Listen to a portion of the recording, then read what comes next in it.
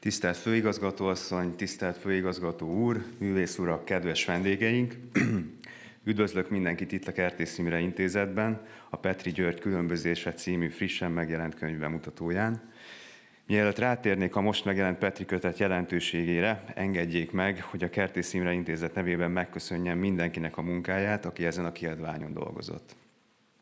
A sok erőfeszítésben a Petőfi Irodalmi Múzeummal osztoztunk, és nagyon örülök annak, hogy egy ilyen aktuális és különleges kötet kapcsán tudtunk együttműködni.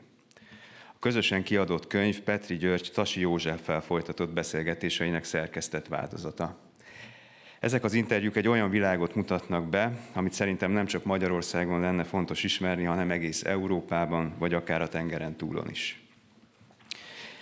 Egy olyan korszellemben, ahol romantikus és vagány gesztus a csegevarás póló, és a kommunizmust át nem élt országokból gyakran lehet hallani azt a frázist, hogy real communism hasn't been tried yet, tehát hogy az igazi kommunizmust még nem próbáltuk ki, tehát hogy érdemes lenne ezzel próbálkozni. Ez a kötet fontosabb, mint amennyire lennie kellene. Amellett, hogy a 70-es, 80-as évek irodalmi életének alakulását is bemutatja a könyv, az általa felvázolt társadalmi és politikai klíma talán még fontosabb. Adott egy karakter, Petri György személyében, aki mindenféle képmutatástól és sallangtól mentes, ugyanakkor érzékeny és lényegre törő. Korának egy olyan értelmiségi pánkja, aki bármiféle megfelelési kényszer és megalkuvás nélkül tudott létezni egy olyan rendszerben, ahol ez így szinte lehetetlen volt. Petri, ahogyan egyébként majd a kötetről szóló kerekasztal beszélgetés során bejátszott videóban is rámutat, a kommunizmus eszméjét nem csak pragmatikus alapon kritizálta, hanem morális alapon is.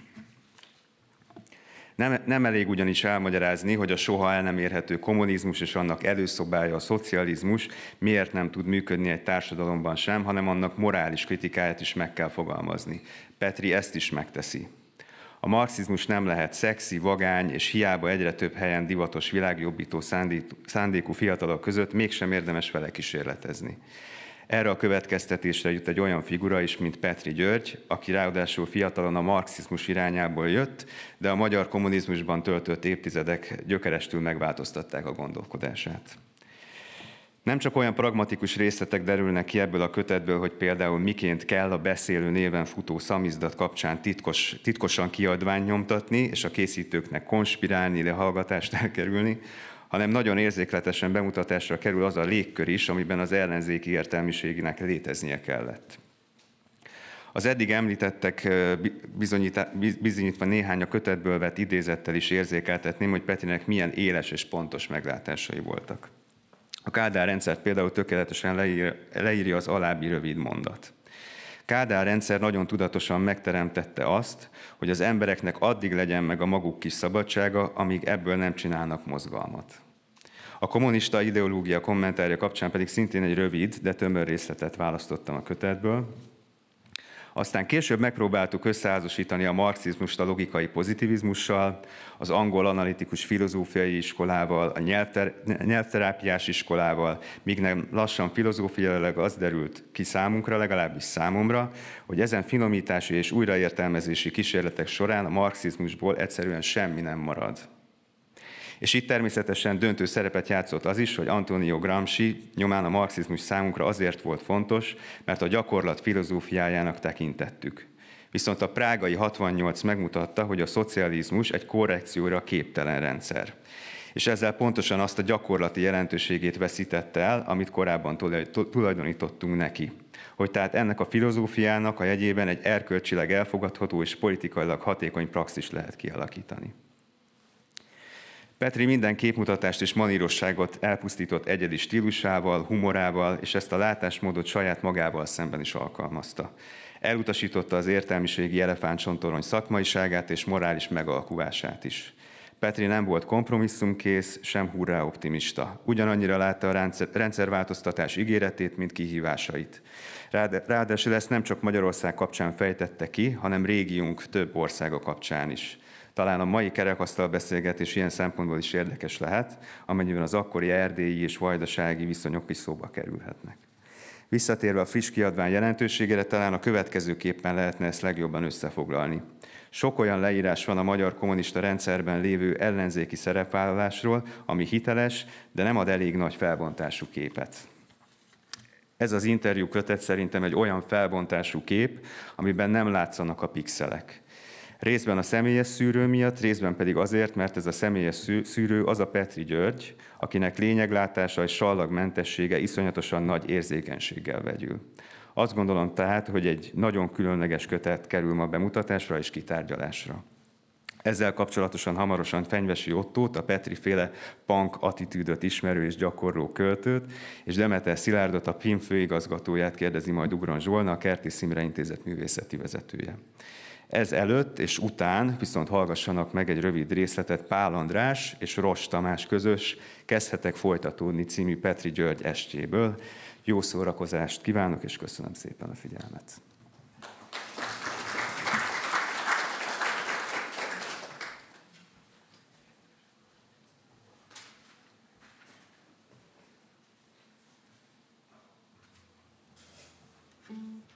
Ülj és figyelj!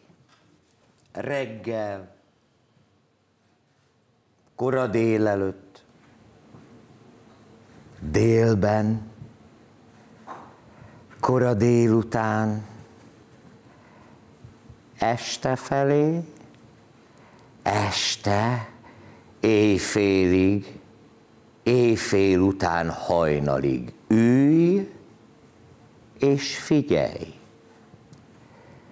Figyelj, mintha csak ülnél. Ülj, mintha csak figyelnél, mert kell, aki ül és figyel. Kell valaki az üléshez és figyeléshez. Reggel, kora délelőtt, délben, kora délután, este felé, este, éjfélig, éjfél után hajnalig. Ülj, figyelj. Mintha ülnél és figyelnél. Azok helyett is, azokért is, kik téged figyelnek, és téged ülnek.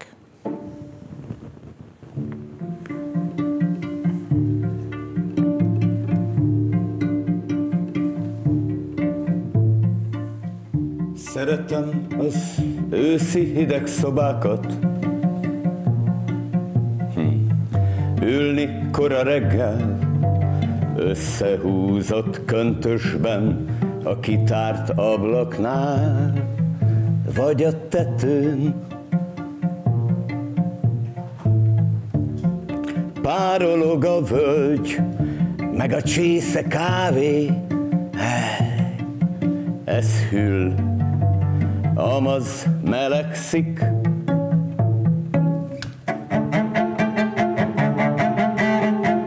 sokasodik a piros meg a sárga. Fogyatkozik a zöld, pereg a sárba a sok levél. Halomban a nyár devalvált pénze, oly sok, semmit érő.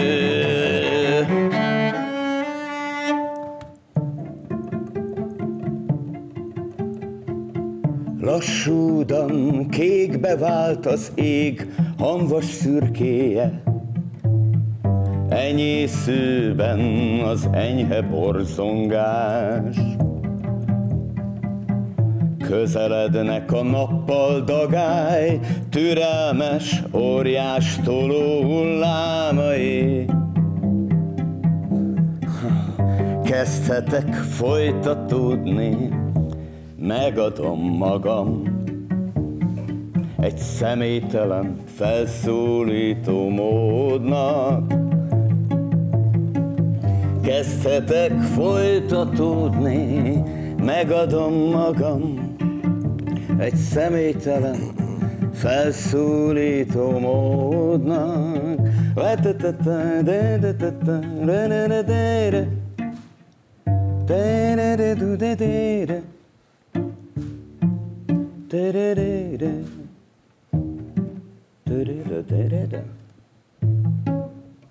Eltervezzük, hogy délelőtt 9-től 11-ig, maximum 12-ig, fél egyig, és akkor még ebédelhetünk együtt esetleg.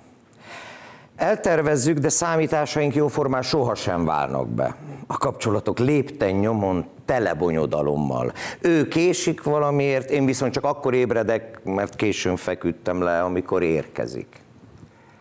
Szerelem félálomban, hosszú, zsibbat heverés, az időérzék megbomlása. Mikor az egymás után szívott cigaretták áramlásba hozzák végtére a megalvat tetrekészséget, már délután felé lejt ez a nap is. Kapkodva öltözés, gondatlan, mímelt gyengétségben bujkál a titkolt rossz kedv. Csak most el ne hangozzék az a szeretsz? Az ebéd jó háromfélét eszünk, a fogásokat megfelezve. Erre, meg utána a drága borozóra egy heti pénzünk rámegy, de a bor jó. És jók a hosszú amerikai cigaretták. Ezt tudjuk. Zöggenőmentesen együttműködni ízek, szeszek, meg a füstélvezetében. Ilyenkor könnyen esik a beszéd is, a haszontalan, de igényes csevegés, jobbadán arról, hogy itt nem igen lehet élni másképpen, mint a szellemet munkára fogva, kedélytelen komolysággal, és lemondani játékosan szabad kiéléséről sokféle ötletünknek, nem kívánva a tér tágasságát, arcok, helyszínek cserélődését olykor. Ilyen körülmények között a társas élet persze elsorvad. Úgy bámultunk egymásra mind efféknél is a legutóbb, ahogy háromnapos beszáradt szendvicseket tanulmányozunk elkeseredetten egy rosszagú presszóban, ahová eső elől beverődtünk. Aztán, és végre egyedül. Most már egy körúti olcsó sörözőben. Miért is ez a megkönnyebbülés, hogy elbúcsúztam tőle, akivel jól érzem magam mégiscsak, nem egyszer, aki nem akadályoz semmiben, és igazán soha, egy percig se firtatta, vagy vitatta a szenvedély elégséges voltát kapcsolatunkban. Miért kell folyvást tudakolnom, hogy kellenek ezek a találkozások? Szükség van erre? Vele vagy nélküled nem maradna minden egyéb változatlan? Mintha más dolgok függése valamitől igazolná azt a valamit süllyedő léghajon kérdezik így mindenről. Kell. Mihez? Kényelemhez? Létezéshez? Szilárd padló van itt, meg bútorok, és én időmmel, mely korlátlan rendelkezésemre áll. Ha tetszik, zsúfolásig tölthetem, ha tetszik, nyitva hagyom eljöhető esélynek.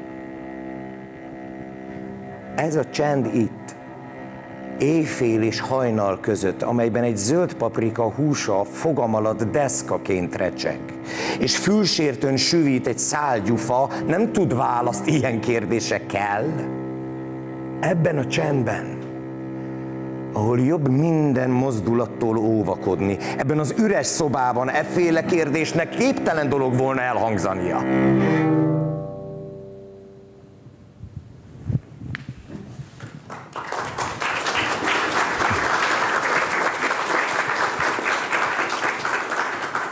Kicsit zavarba vagyok, mert Szilárd az rögtön, a, amikor találkoztunk, akkor azt mondta, hogy ő szeretné felolvasni azt az előszót, amit írt ehhez a kötethez, ami egyébként egy kiváló előszó, úgyhogy ha komoly a szándékot, Szilárd, akkor legyen, akkor olvas, és akkor utána beszélgetünk.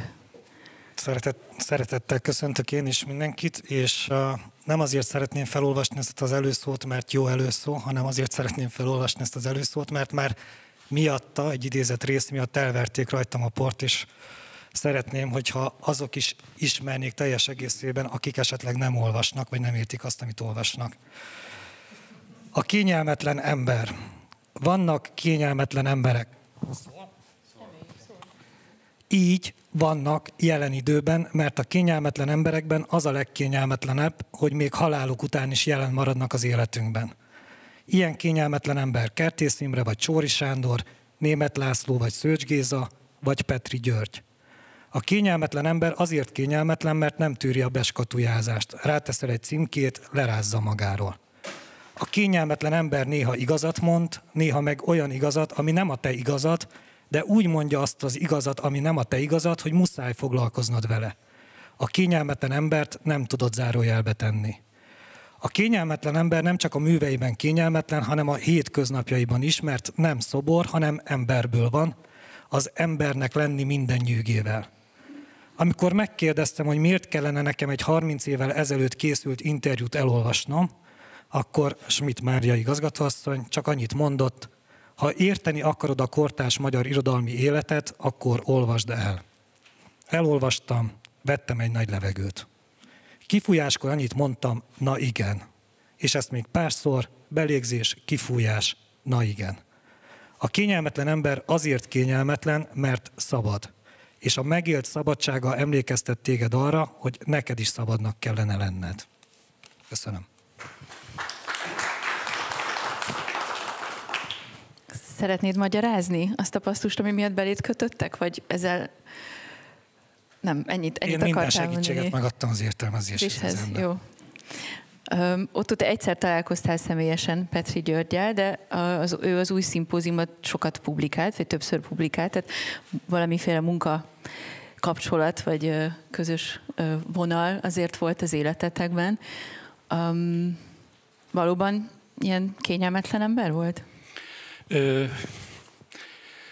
én azt hiszem, hogy Petri Györgyöt egy kicsit elhanyagoltuk, és most, amikor ezt a könyvet megkaptam, akkor, akkor ismertem meg valójában, és a 70-es években, amikor én az új szimpózion szerkesztőbizottságában voltam, akkor a magyar irodalomban azok az emberek, akik hát itten nem nagyon közölhettek, azok nagyon sok szöveget küldtek nekünk Újvidékre, de nem csak ők, hanem Szőcs Géza is, tehát a Kárpát-medencének a dolgait azért valahogy ott újvidéken összefutottak nálunk a katolikus portán, mert hogy így hívták azt a teret, ahol, ahol ez a az ö, ifjúsági tribűn nevezetű ö, ö, intézmény létezett, és mi a második emeletén volt a szerkesztőségünk.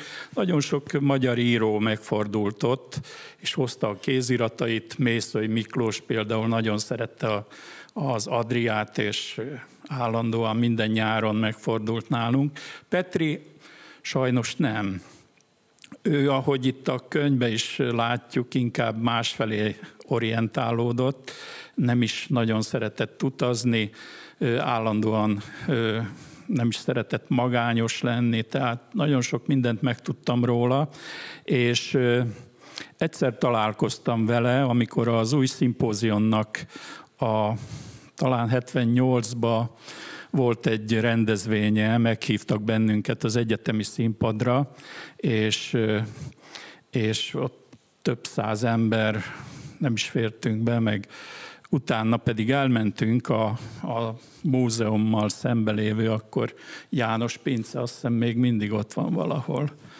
egy ilyen intézmény volt, és az... Nem inni járok oda sajnos. Igen. Mi oda mentünk, és, és, és és egy óriási nagy asztaltárság összeverődött, magyarországi írók természetesen mi is voltunk egy hatan heten Újvidékről, és pont úgy hozta a sors, hogy mellettem Petri Györgyűt, és egész éjszaka engemet a vajdaságról kérdezgetett, meg a jugoszláviai helyzetről, hogy ugye itt a könyvbe, az első fejezetben a származásáról kiderül, hogy hát ő anyai ágon, apai ágon vajdaságból származik, és ez számomra is most tudatosult igazából, hogy akkor, akkor mi is volt az az érdeklődés ottan. Ott ugye egy kicsit borgőzös volt a hangulat, meg iszonyú dohányfüst, úgyhogy a végén ma nem is láttuk egymást, de ez De, jobb is lehet a végén már. Igen, és, és utána még valahova mentünk az éjszakába, de nem tudom rekonstruálni igazából ezt, a, ezt az éjszakát, csak azt tudom, hogy a Petri volt mellettem, és, és nagyon érdeklődött a, a jugoszláv helyzet után, ugye már akkor ott is különböző tendenciák megindultak, és, és hát Számomra ez a könyv fantasztikus felfedezés se Petri Györgynek, hiszen nem ismertem a, megmondom őszintén, az életét. Tudtam, hogy sokat iszik, meg, meg nagyon sok felesége, felesége volt, meg szerelme, meg, meg a betegségéről hallottam a vége felé, de igazából úgy kapcsolatom nem volt vele, viszont a, a verseit, hát azokat ismertük, ugye mi magunk is közöltük őket, és hát sajnos itt, amikor ezt a könyvet levettem a polcról, ugye van egy könyve polcom, ahol, ahol a kortárs 20. századi magyar irodalom van, és ott kerestem nagy nehezen megtaláltam, de csak ezt az egyet. Úgyhogy, úgyhogy a 90-es években megjelent versei, amelyekre itt többször hivatkozik, azok, azok, azokat nem is ismerem annyira. Már, már csak erre is jó ez a kötet, hiszen van benne jó néhány vers is a szövegen kívül, Igen. de a, a, a, benne is van, a, a Szilárd bevezetődben benne van ez a mondat, hogy, hogy ebből nagyon jól meg lehet érteni a kortás irodalmi életet, hogyha megértjük az akkori kortás irodalmi életet, de én ezt kitágítanám, mert azt gondolom, hogy talán az akkori közéletet is nagyon jól meg lehet, vagy részben nagyon jól meg lehet érteni ebből a könyvből. Szerintem mi mindannyian kicsit kívülről néztük azt, én végképp, én sehogy sem néztem, mert én akkor még gyerek voltam, meg szerintem te is talán majd, hogy nem. De hogy ez így vissza, tehát mindenféleképpen kívülről, tehát földrajzilag és időben is kívülről nézve, nekem ez nagyon tanulságos. Ti is így éltétek meg az olvasottakat? Nekem abszolút, abszolút tanulságos volt, és rengeteg elmozzanatot, ismeretlen dolgot megismertem ebből a könyvből, és egy kicsit világosabb lett a, a, a körülmények, az összefonódások, és hát a későbbi végkifejlet is a 90-es években, ami hát történt, úgyhogy abszolút ö, ö, felfedezés volt a számomra ez a könyv, és egy nagy nagy megvilágosodás. Neked mi volt a legmeglepőbb, Szilárd? Volt olyan, ami így tényleg felszaladt a szemöldököt, hogy ezt nem gondoltad Sokszor volna? Sokszor fel a szemöldököm, ezért, ezért is tartom kényelmetlen szerzőnek, nem csak a verseny miatt, de hogy, hogy egy picit így az előtörténetét megvizs, meg, megvilágítsuk. Tehát, hogy én Petrit a Lövétei Lázár Lászlótól kaptam. Lövétei Lázár László meg valószínűleg Kuksitól, tehát Kukoreli Endrétől vagy Kemény Istvántól kaphatta, tehát nem tudom, hogy ki volt a, közvetítője. Tehát hogy a 90-es évek első felében volt egy olyan történet, amikor még a transzközép nem indult el, tehát hogy Orbán János Dénesék még nem forgatták fel Fenekestül, csak éppen talán elkezdték felforgatni, vagy még csak éppen készülöttek a nagy felforgatott tevékenységre, akkor ismerkedtünk mi azzal a kortás magyar irodalommal, ami a magyar irodalomnak a fősodrát jelentette. Abban a szerencsés helyzetben éltünk mi ott Erdélyben, hogy a elképesztő jó irodalmunk volt, erdélyi irodalmunk. Itt a forrás nemzedékre gondolok, akinek a legnagyobbjait azért Magyarországon is ismerik, tehát Sütő András, Kányádi Sándor, Farkas Árpád, Király László, Ferences, tehát, hogy, hogy rengeteg, rengeteg nagy, nagy szerzőnk volt, akik az adott kommunista diktatúra körülményei között talán meg is jelenhettek, tehát bizonyos műveik megjelenhettek, bizonyosak nem.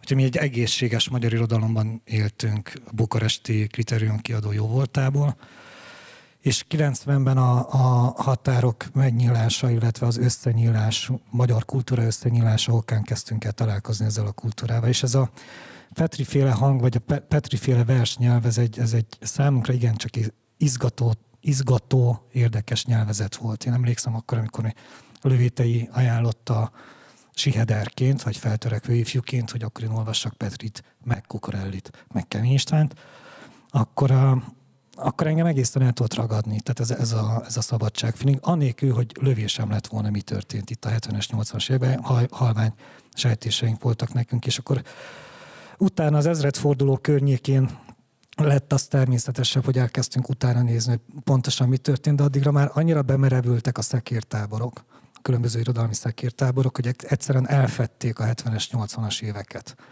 Tehát, hogy csak azt tudtad, hogy ki kit utál, meg miért utál, hogy, de hogy miért utálja, annak a gyökérzetét azt nem nagyon lehetett felfejteni.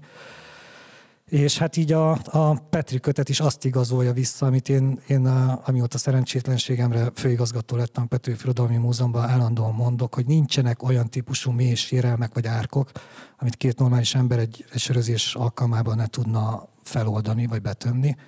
Tehát, hogy itt ő maga is utal erre, erre az egymás az ártságra. Az egymás az ártságban a, a kommunista államhatalommal való szembeniségben mégiscsak megtalálták azt a, a közös közös nevezőt, közös hangot, akár csurkával, akár csórival, ami, ami az értelmes párbeszédet lehetővé tette, és ez tűnt el a 90-es évek második felétől nagyjából, vagy 90-es évek elejétől. És ez, ez az, ami, ami engem rettetesen zavar, vagy, vagy hogy mondjam, inspirál a, a további kísérletek megtételére.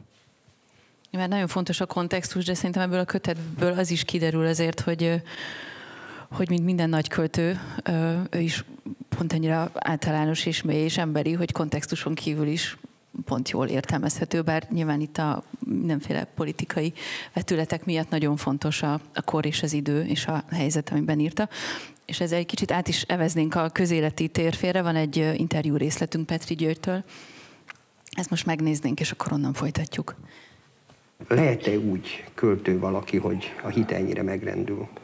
Nem egy manapság divatos kultúrpesszimizmusról van szó, hanem egy, hanem egy, hanem egy, hanem egy politikai berendezkedéssel való radikális szembeállásról, és egy, egy ideológiának a radikális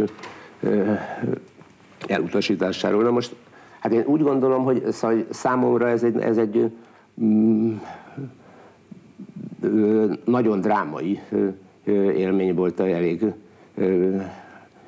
drámai volt úgy is, hogy, hogy ez nekem egy, egy nagyon komoly több évig tartó belső leszámolásom volt, hiszen mint, mint, mint a generációm sok tagja. Én is a marxizmuson nevelkedtem, tehát a, és a, szóval azok az évek, amiket, amikor filozófiai tanulmányokat folytattam, az, az tulajdonképp a, a marxizmusnak a megreformálására, más filozófiákkal való összehangolására tett kísérlet is volt, és fokozatosan jöttem rá, hogy, hogy, hogy ez az ideológia úgy, ahogy van,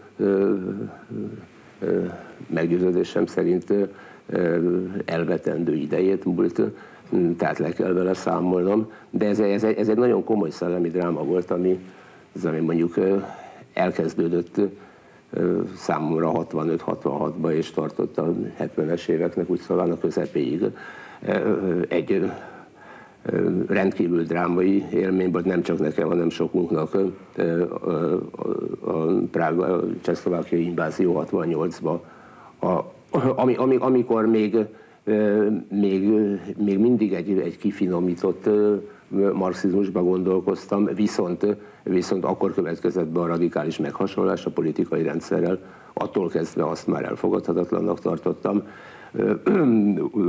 Ugyan, ugyan, ugyanakkor az is, az is egy eldöntött dolog volt számomra, hogy, hogy ebből, a, ebből a feszültségből semmiképp sem választom a, a, az emigrációt. Nagy, nagy, nagyon, nagyon közel jutottam ahhoz, hogy, hogy ebbe az országba kibírhatatlan élni, de az, az is az volt a nagyon határozott és megmásíthatatlan személyes döntésem, hogy, hogy én ezt így csinálom végig. Hol lehetett szerintetek a gyökere ennek az autonómiának, hogy ő ennyire nevén merte nevezni a dolgokat? Hogy ez karakter, vagy, vagy helyzet is kell hozzá, hogy kell-e valami, ami ellen az ember fel tud lázadni, hogy ez de feltehetem úgy is a kérdést egy kicsit fordítva, hogy, hogy dolga a költőnek közéletileg állást foglalni. Hát a Petrit kérdezed, akkor igen. Akkor igen, mert azt írta valahol, hogy egyszer úgy definiáltam magam, hogy magánpolitikus vagyok, szenvedélyem a politika, de nem nagyon tudom elviselni az intézményes keretet. Nem, tehát, hogy Petri nem ellenzéki volt, hanem szabad. Tehát ezt a különbséget kellene megérteni, azt, vagy én legalábbis így értem meg az ő, ő, ő testtartását, vagy, vagy alapállását. Tehát, hogy ő radikálisan beleállt a saját szabadságába. Ennek az interjúnak a folytatása az lehet, vagy azt mondja máshol, ugye, hogy, hogy akkor úgy döntött, hogy nem ő megy, menjenek el azok, akik miatt Igen, így folytatódik a magát, tehát, hogy valami máshol. ilyesmi. És hogy, hogy ehhez, ehhez a, meg a, a, a Radnótival folytatott vitája is, hogy transztendálni kell a politikát, tehát, hogy, hogy nem, tehát hogy ez az ő radikális személyi szabadsága, ahogyan ő benne élt ebben a magyar rög valóságban, tehát ebben a akkor már majdnem elvisel, elves, elviselhetetlenségig fokozott valóságban, de hogy ezt szabadként tudta megélni, szóval ez, ez ennyi kell, hogy az ember eldönti, hogy szabad. És, és hogy a fene fené teszik, akkor sem köt kompromisszumokat. Nem azért nem köt kompromisszumokat, meg kompromisszumképtelen, mondja Petri, hanem mert nem látja értelmét a kompromisszumnak. Igen, de ezzel neve, nevén nevezzük a dolgokat, ez azért, azt gondolom, hogy ő ebben kivételes volt abban a korban, mert mindenki, többen transformálták, gyerekirodalmat írtak, ezt csináltak, azt csináltak, kompromisszumokat kötöttek, ő pedig nem kötött kompromisszumot. De téged kérdezlek, Otto, mert te ezt egy kicsit közelebbről élted, mint mi ketten. Hmm.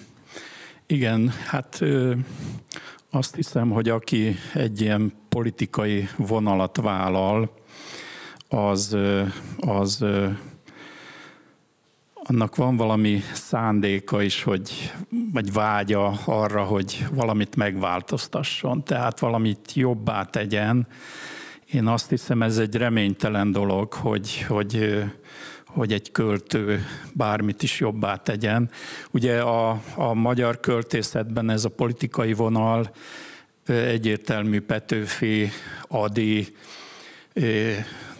talán oda sorolnám Petrit is, abszolút oda sorolnám, nem talán, hanem oda sorolnám, és ez a vonal szerintem mindig is volt a magyar irodalomban, és ez a karakter, ez végigvonul. Tehát az mellett, hogy hát lírai költő, vagy búskomor költő, meg mindenféle splínek megjelennek itt a 20. században, avantgard törekvések, azt hiszem, hogy, hogy a magyar költészet, magyar irodalom ezzel a, ezzel a, ezzel a ö, színnel gazdagodott, és gazdag szik is mai, mai, mai is úgy mutatja magát, hogy hát sokszínű és, és, és sokoldalú, és én azt hiszem, hogy ez is kell. Ugyanúgy, ahogy hogy például Vajdaságban nálunk Sziveri János, vagy pedig Erdélybe Szőcs Géza, tehát egy politikai vállalás is volt mögötte, és, és hát ezek az emberek kompromisszum nélkül, gyávaság nélkül vállalták azt, hogy, hogy ezt, a, ezt, a, ezt a nem mondom, hogy szerepjáték, de egy szerepet, egy játékot lejátszanak, és, és, és ellenálljanak annak a rendszernek, amelyben éltünk, amely, amely hát eléggé megnyomorította az életünket.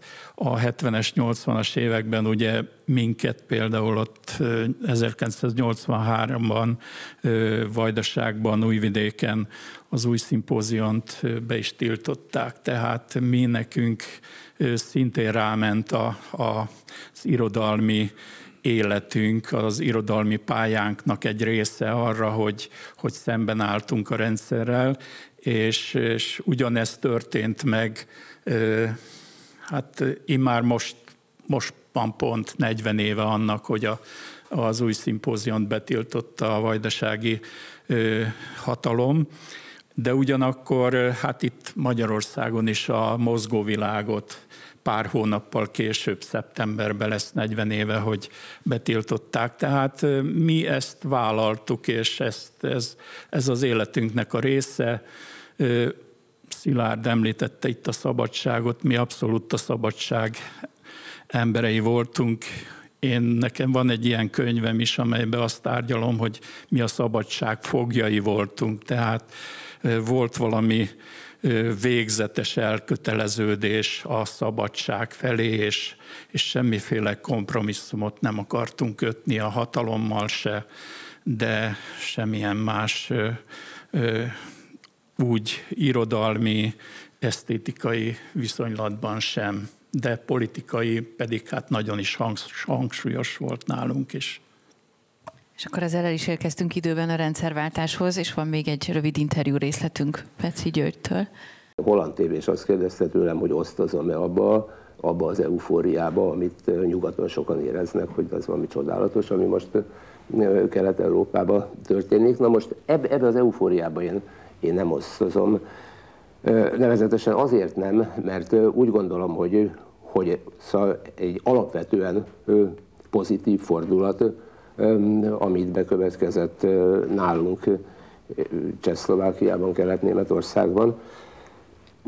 És ugyanakkor azt gondolom, hogy egy, egy rendkívül nehéz és viharos folyamat előtt állunk, mondjuk az angol eredeti tőke felhalmozás, vagy a, vagy a francia kapitalizmus kialakulása sem volt egy, egy gusztusos és konfliktusmentes és harmonikus és szép folyamat. Szóval ez egy nagy, nagy, nagyon brutálisak lesznek itt az átalakulások, nagyon, nagy, nagyon sok konfliktus és nagyon sok szenvedés van még hátra. De, de, de, de végre úgy gondolom, hogy, hogy, hogy egy lehetőség nyílt arra, hogy, hogy, hogy Kelet-Európa egy normális fejlődés útján elinduljon. Elég éleslátó gondolatok akkoriban. Nem tudom, hogy mennyire volt az általános vélemény. Ez a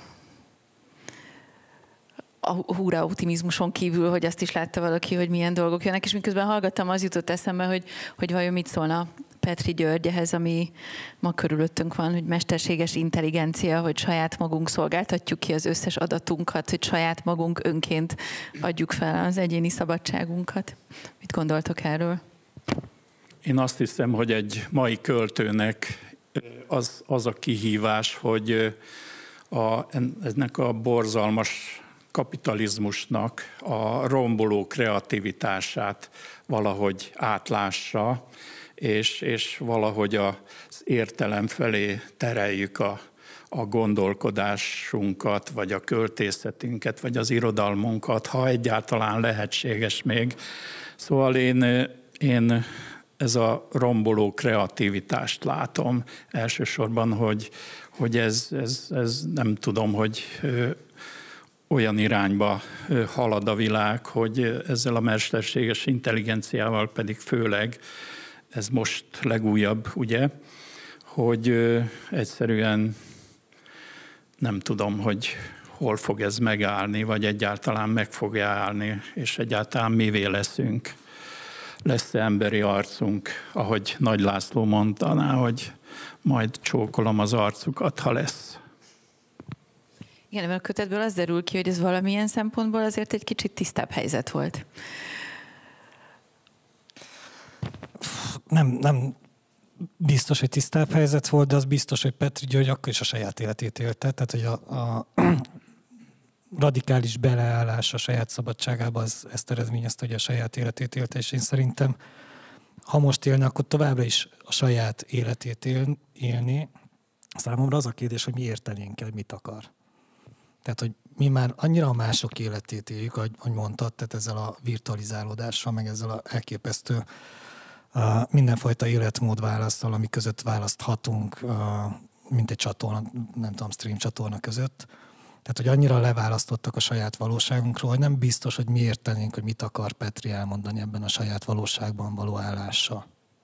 Talán azért is fontos ez az interjú kötet, mert legalább így vannak előttünk példák, hogy hogyan kell a saját életünket élni minden körülmények között. Köszönöm szépen mindenkinek.